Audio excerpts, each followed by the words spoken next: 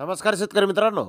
काल महाराष्ट्रामध्ये कांद्याच्या भावामध्ये मोठी घसरण ही प्रत्येक बाजार समितीमध्ये आपल्याला पाहावयास मिळालेली आहे.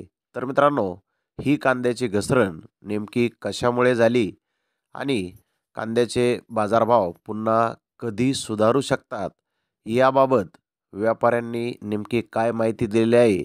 त्या संदर्भात महत्त्वाची बातमी आपण या व्हिडिओमध्ये पाहणार आहोत. त्यासाठी मित्रांनो व्हिडिओ संपूर्ण पहा.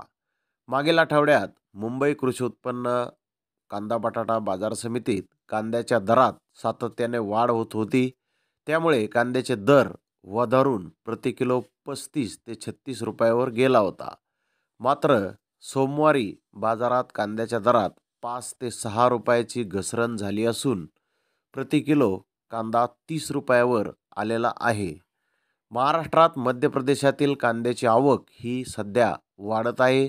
त्यामुळे मागणीच्या तुलनेत पुरवठा जास्त असल्याने राज्यात कांद्याच्या दरात घसरण होत आहे. ए पी एम सी बाजारात देखील कांद्याचे दर हे कमी झालेले आहेत.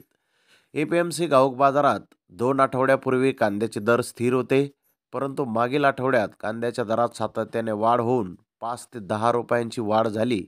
त्यामुळे बाजारातही कांदा चाळीस ते पंचेचाळीस रुपयावर गेला. मागील एक ते दोन महिन्यात राज्यात परतीचा पाऊस मोठ्या प्रमाणात झाला. त्यामुळे साठवणुकीचा जुना कांदा मोठ्या प्रमाणावर खराब होत आहे. तर नवीन लाल कांद्याचा हंगामालाही फटका बसला आहे त्यामुळे बाजारात उच्चतम प्रतीचा कांदा कमी प्रमाणात दाखल होत आहे. उच्चतम प्रतीच्या कांद्याची दरवाढ होत होती. परंतु महाराष्ट्र राज्यात मध्य प्रदेश येथील कांद्याची आवक होत आहे. त्याचबरोबर इतर राज्यातही मध्य प्रदेशमधील कांदा मोठ्या प्रमाणावर विक्री होत आहे. याचा परिणाम राज्यातील कांद्याच्या दरावर होऊ नये म्हणून नाशिक बाजारात कांद्याचे दर कमी करण्यात आल्याचे मत व्यापारी मनोहर तोतलानी यांनी व्यक्त केले आहे. तर मित्रांनो आपल्या लक्षात आलं असेल की मध्य प्रदेश येथील कांदा हा आपल्या महाराष्ट्रात विक्रीसाठी येत आहे. तसेच इतर राज्यातही तो विक्रीसाठी जात आहे आणि त्याचमुळे नाशिक जिल्ह्यातील कांद्याचे दर हे काल व्यापाऱ्यांनी कमी केलेले आहेत. सोमवारी एफ एम सी बाजारात एकूण दीडशे गाड्या ह्या काल दाखल झाल्या होत्या. म्हणजेच मुंबई बाजारात दीडशे गाड्या आल्या होत्या. मागणीच्या तुलनेत पुरवठा अधिक असल्याने दर गडगडले आहेत. मागील सोमवारी कांद्याला पंचवीस ते पस्तीस रुपये दर होता. मात्र या सोमवारी वीस ते तीस रुपयांनी तो विक्री होत आहे. आणि मित्रांनो आठवडाभर अशी स्थिती राहील असे मत व्यापाऱ्यामधून व्यक्त होत आहे. त्यानंतर पुन्हा कांद्याची दरवाढ होण्याची शक्यताही वर्तवण्यात येत आहे.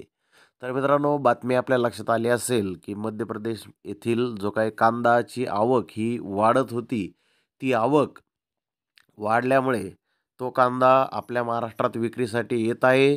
आणि इतर राज्यातही तो कांदा विक्रीसाठी जात आहे. त्यामुळे आपल्या कांद्याचे बाजारभाव हे काल कमी झालेले आहेत आणि आठवड्यानंतर बाजारभाव वाढू शकतात असंही मत व्यापारी सध्या व्यक्त करत आहेत. तर मित्रांनो आपला कांदा कधी विकायचा आहे हे आपण आपण ठरवायचं आहे.